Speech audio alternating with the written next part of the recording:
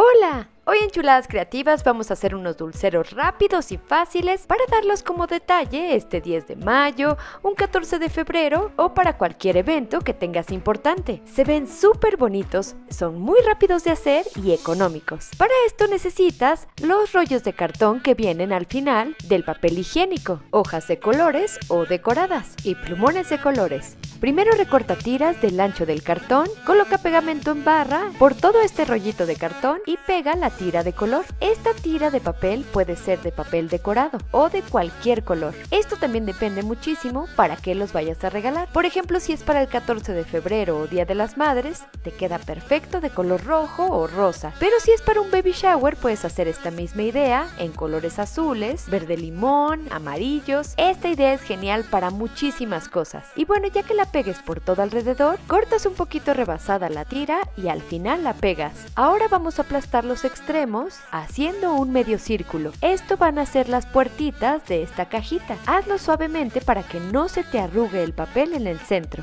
Ya que tengas un lado, aplasta el otro y así ya lo cerramos y hacemos lo mismo del otro lado. Con tus dedos dándole forma de medio círculo para que quede mucho más marcado. ¿Qué tal? ¿A poco no está súper fácil y parece una cajita de dulces? Y bueno, ahora con lápiz vamos a marcar lo que vamos a perforar. Vamos a hacer una ventanita en esta cajita. Vamos a hacerle una perforación en el centro en forma de corazón. Sin embargo, también puede ser en forma de cuadrito, en forma de círculo, en forma de estrella. Aquí depende de la temática de tu evento. Esto lo vamos a perforar con un cúter o un exacto. El exacto tiene una punta mucho más fina y con un poquito más de filo, así es que es más fácil, pero debes de tener mucho cuidado. Ahora vas a recortar un cuadrito más grande que tu perforación, más grande que el corazón, de mica o también se conoce como acetato. Estas micas las venden en cualquier papelería, hay decoradas o transparentes. Le vas a poner pegamento en la orillita, puede ser silicón frío o silicón caliente. Recuerda, debe de ser más grande que el corazón para que cuando la pegues en el interior no se vea el pegamento. También lo puedes pegar con cinta adhesiva en las orillitas. La idea es que en la ventanita no se vea ningún pegamento, te quede como limpia. Y para ponerla más chula y decorarla un poquito más, en la parte de atrás puedes poner la fecha del evento, gracias por venir, algún recadito lindo para quien se lo vayas a regalar y en la parte donde está la ventana, unos puntitos alrededor del corazón, corazones de colores, aquí sí vas a usar tu imaginación. Y si no eres de la idea de decorar mucho, bueno, pues puedes comprar papeles ya decorados. Estos papeles que son para envoltura de regalos o papeles de crafting te sirven perfectos, se ven súper lindos y te ahorras la idea de decorar. Que bueno, a mí me gusta todavía cargarlo un poquito más y ponerle como mi sello, así es que aunque ya estén decorados, puedes ponerle tu firma o la ventanita para que se vea más bonito y así combinarlas en tu evento en la mesa de postres con diferentes diseños cada cajita. Y mi chulada una pausa chiquitita. Si estás buscando qué regalar a alguien muy especial como a mamá, tu mejor amiga, para algún cumpleaños o simplemente para decorar o para ti, bueno pues te voy a dejar una lista de muchísimas ideas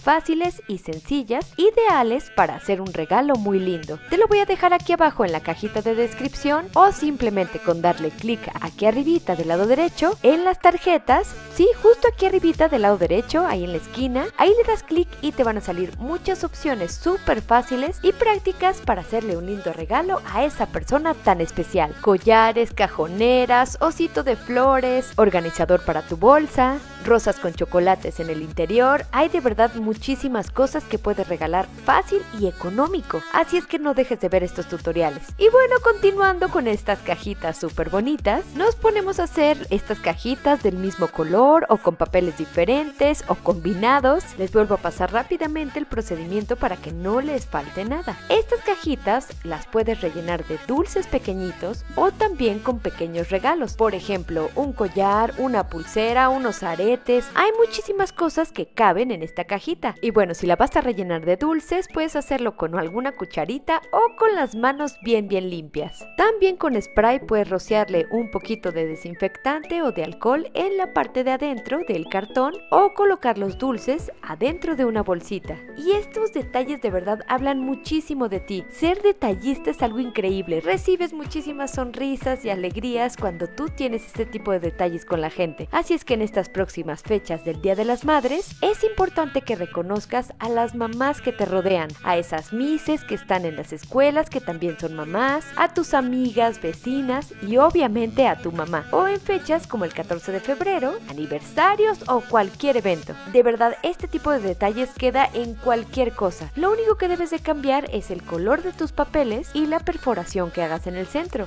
porque si le pones una estrella o un número, por ejemplo, le puedes poner el número 3, quiere decir que es del cumpleaños número 3, queda para muchas ideas. Aquí la idea es que no te limites a lo único que yo te enseño, sino que esta misma idea la puedas aplicar en otros proyectos. Y mi chuladas, muchísimas gracias por sus fotos que me mandan. No se desesperen si me la acaban de mandar, va a salir en alguno de mis videos. Tiene que estar tu foto bien tomada, es decir, con buena luz y que no sea borrosa, porque luego me mandan las fotos muy borrosas y no se alcanza a ver su chulada. Mándenme su foto a cualquiera de mis redes sociales y tienen que estar sus suscritos en este canal con la campana activada para que en alguno de mis videos salga su fotografía con su nombre. Muchas gracias, esta parte la disfruto muchísimo de estar viendo lo que me mandan, de verdad muchas muchas gracias. Y si tú ya me mandaste tu foto, no te desesperes, muy pronto saldrá en alguno de mis videos, solamente ten en cuenta que tienes que tener activada la campanita y estar suscrito en este canal.